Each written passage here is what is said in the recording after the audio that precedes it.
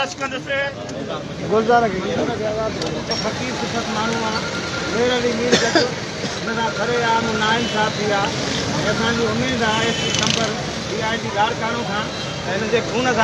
कंदो ऐं असांजी अपील आहे हर इंसान जे तबिके खे इंसानियत जो कतलु आहे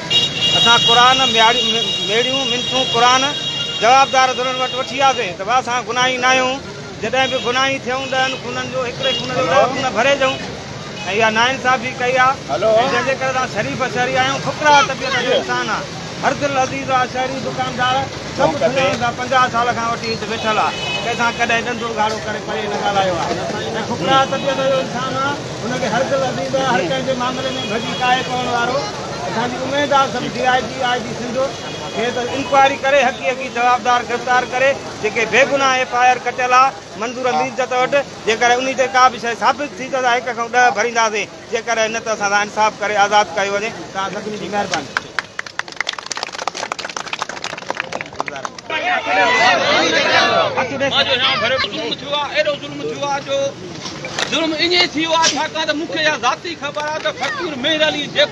महिरबानीलो थींदो त माण्हू मौज़ माण्हू वॾा माण्हू ॿियनि माण्हुनि खे घुराईंदा त हिते अचो त मसला त चऊं हेॾे वटि ईंदो त हे मसइलो हल कयो हिन वक़्तु हीउ मसइलो थी पियो मां हुन वटि वियोसां मां कुरान बि खणी वियो आहियां सैद बि वठी वियो आहियां मां आहियां बि न मालिकनि खे बि ख़बर आहे त केरु केरु न आहिनि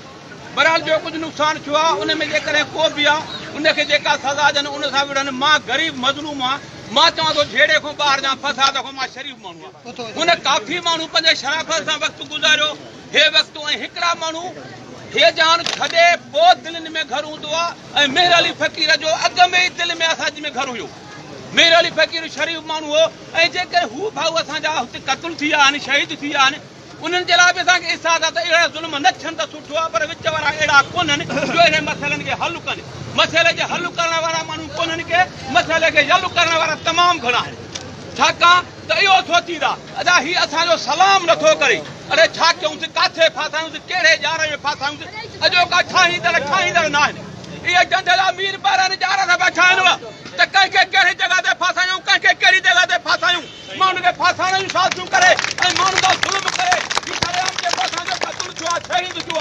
तुर्चुआ छाही